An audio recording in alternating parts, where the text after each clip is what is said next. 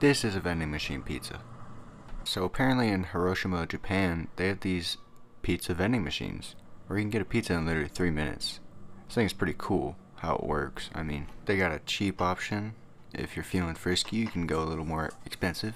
It is a vending machine. But yeah, you just take your pick, step back, and watch the magic happen. No, literally, you watch the magic happen. There's two peepholes. After a little bit, a timer pops up, let you know how much time is left on that pizza there. And boom, like a newborn baby, out pops a pizza.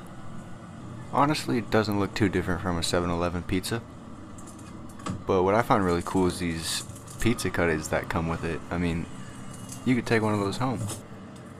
Use it when you're bored. You know, let's let's see if there's a cheese pull. Nope,